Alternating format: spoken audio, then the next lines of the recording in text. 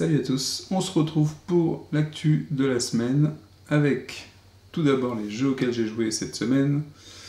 Euh, Village of Legends, je vous en ai parlé la, dernière fois et je vais bientôt faire une vidéo.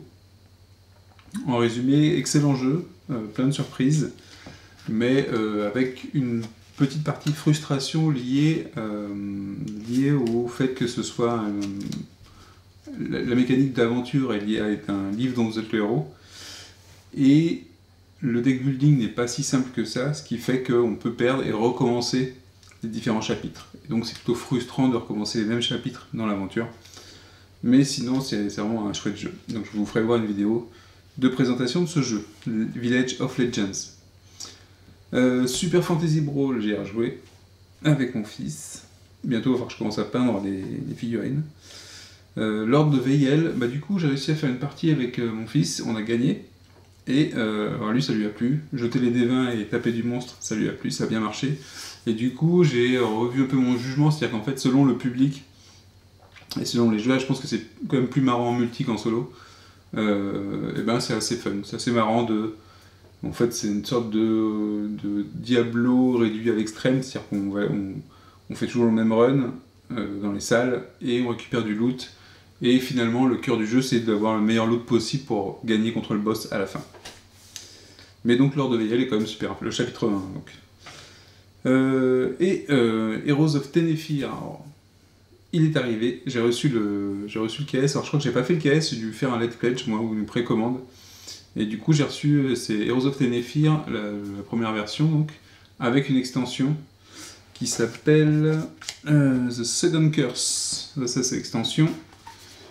Et ça, c'est euh, Heroes of Tenefir. Donc c'est un deck building, encore un, avec euh, vraiment un pur deck building, dans lequel en fait les différents tas de monstres représentent des niveaux du donjon. Et, euh, en fait vous avez une mécanique qui est assez sympa, où vraiment on a un combat coop. C'est donc toutes les cartes de tous les joueurs qui vont compter comme valeur pour combattre un monstre. Et c'est plutôt, plutôt simple dans, le, dans la mécanique. Donc avec l'extension, ce qui est bien, c'est que ça rajoute pas de nouvelles règles, ça, euh, ça augmente toutes les, toutes les possibilités dans le jeu. Plus de héros, plus de monstres dans tous les niveaux de donjon. Donc c'est pas mal. Et je crois qu'il y a quelques règles en plus pour des. J'ai vu des. Ou c'est lié aux, héros, je crois. Des cartes en plus pour certains héros. Donc voilà, c'est Heroes of Telephir et c'est assez sympa. Et sinon, j'ai joué énormément à Ghost of Tsushima sur PS4 Pro. Et c'est un jeu génial, euh, avec un super écran et du HDR, ça, ça défonce. C'est-à-dire qu'en fait, quand tu veux passer la PS5, je sais pas si je vais voir une grosse, grosse différence, à part sur les temps de chargement. Alors, news de la semaine, il y a le dernier euh, Chips Theory Game qui est sorti, Burn Cycle. Donc c'est un univers. Euh, alors l'histoire, c'est une histoire de d'humain. L'humanité s'est éteinte et puis a été est, rené de ses, est revenu. Non, même pas, on va même pas dire ça. Les robots l'ont aidé à, revenir. Et, comme l'humain est, tellement bon et parfait, il n'a rien trouvé d'autre que euh, de faire la guerre à ses créateurs, aux robots. Et donc on va jouer apparemment une équipe de robots qui doivent, euh, qui doivent empêcher, qui doivent abattre en fait le leader, un leader humain. Donc le, bon ça c'est le pitch du jeu. Euh, le, jeu, ce qui, ce qui me plaît, j'ai pas encore pledgé, euh, Burn Cycle. Ce qui a l'air sympa, c'est le côté euh, de deux endroits où on lutte, à savoir une sorte de cyberspace, cyberspace comme dans euh, Cyberpunk par exemple, ou dans, je sais pas si c'était dans Shadowrun. Donc où on va pouvoir en fait influencer ce qui se passe dans le monde réel. Et plus donc en fait c'est une équipe qui va progresser dans un complexe et en plus, on va pouvoir faire du piratage pour aider l'équipe qui, qui s'enfonce dans le complexe. Donc ça, c'est la mécanique que je trouve sympa. Et il y a une mécanique euh, d'action avec. Alors qui sont des points d'action plus des, euh, des, compétences à utiliser. Euh, je vais regarder un peu quelques vidéos avant de, de, savoir si je pledge ou pas. Le pitch me plaît bien. Le fait qu'il y ait cette notion d'intrusion dans la matrice quelque part ou dans les ordinateurs pour aider le monde réel, je trouve ça sympa. Donc à voir. C'est Burn Cycle de Chip Theory Games. Le KS est, en cours. Et marche bien, je crois. Donc j'ai reçu Heroes of Tenefir, j'ai reçu aussi euh, deux jeux, deux jeux qui ne sont pas des nouveautés. Enfin si, il y a une nouveauté. Mais le premier jeu c'est Wild Space de euh, Ketchup Games. Donc un, petit jeu de cartes super sympa. De, com- de combo. Euh, qui marche très bien, qui est très rapide, c'est vraiment très cool. Et j'ai reçu The Loop. Hop, le dernier jeu des Ketchup Games. Donc euh, à chaque fois que... Attention, hein, les jeux de Ketchup Games sont dangereux. Le premier est sorti avant le premier confinement, le deuxième sort pour le deuxième confinement. Pour le prochain jeu, il faudra faire gaffe. Mais dans tous les cas, donc ça c'est le premier jeu coop des Ketchup. Ils avaient fait Sol, qui était plus un jeu d'équipe, de la compétition, mais en équipe. Et là c'est vraiment un jeu coopératif. Avec pas mal de modes de jeu à l'intérieur. Une euh, direction artistique qui euh, qui se qui s'impose. En fait, je trouve que c'est pas forcément que ça va plaire à tout le monde, mais c'est voilà, un parti pris et c'est pas mal. Euh, et donc dedans, dans le jeu, vous avez un professeur fou qui veut mettre à mal le, continuum espace-temps, et vous êtes une équipe d'agents qui va essayer de l'en empêcher.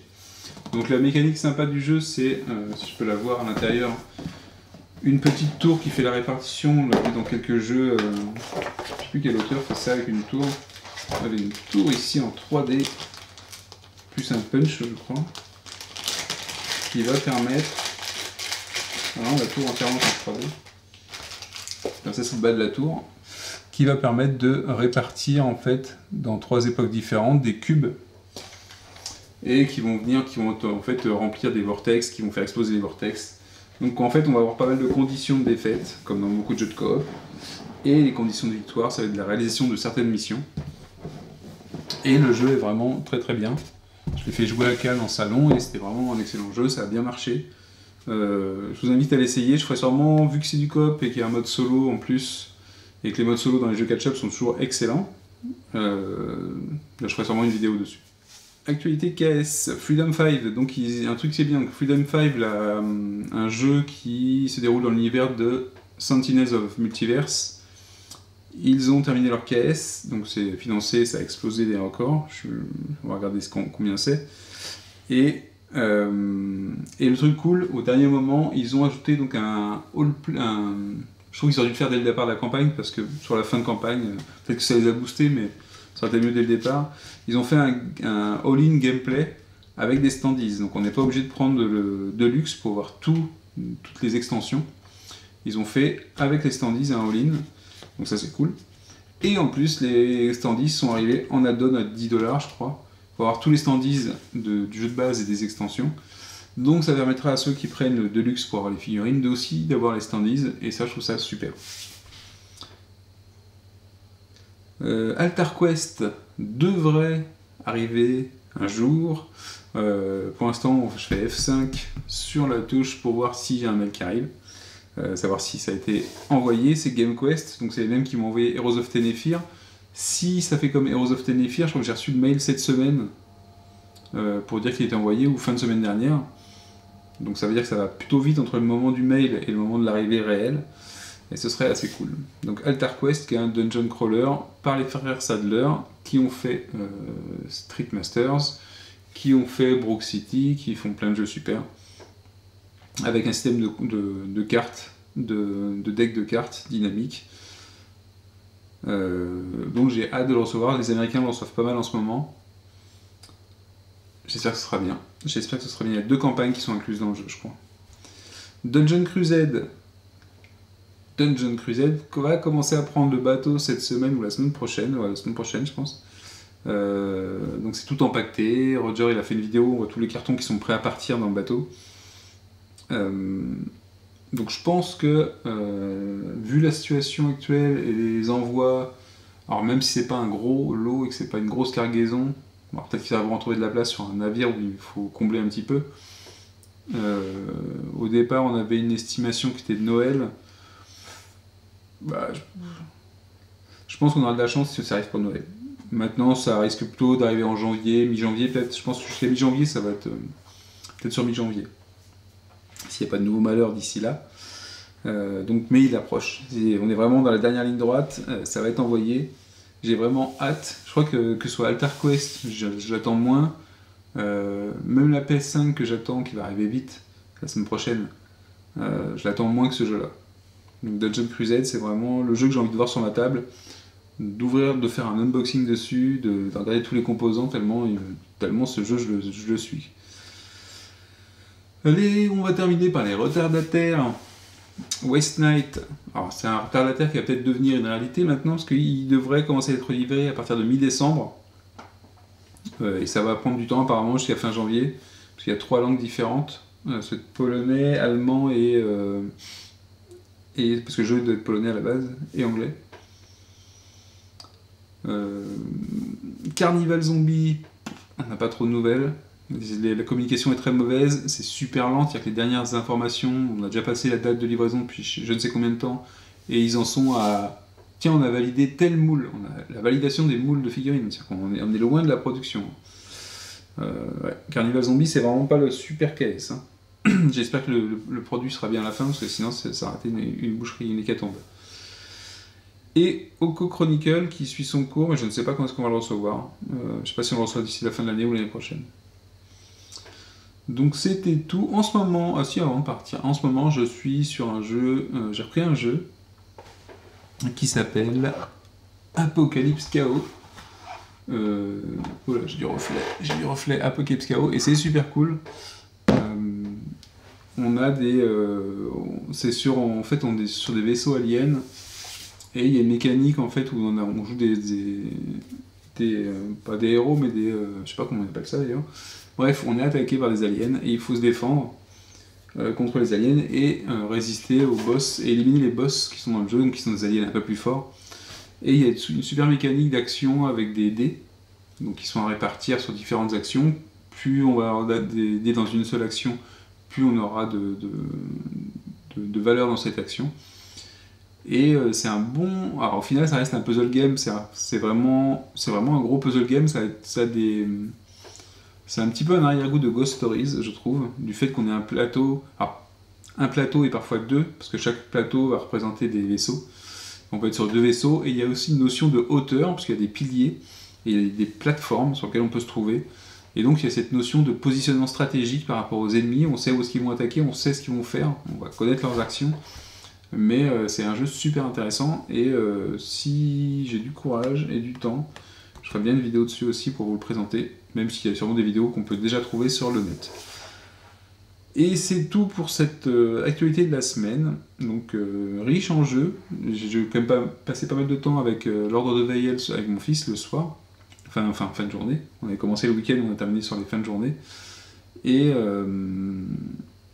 c'est ce qui a occupé la majeure partie de mon temps. Ça et Village of Legends, alors, Village of Legends, comme euh, Heroes of Tenephir, alors peut-être moins Heroes of Tenephir, mais comme d'autres jeux, euh, Village of Legends surtout, il y a quand même le livre de règles est mal foutu. Moi, je le trouve mal foutu. C'est vrai, il y a toutes les règles. parfois, il y a des petits manques, mais c'est un peu, euh, c'est un peu dans tous les coins.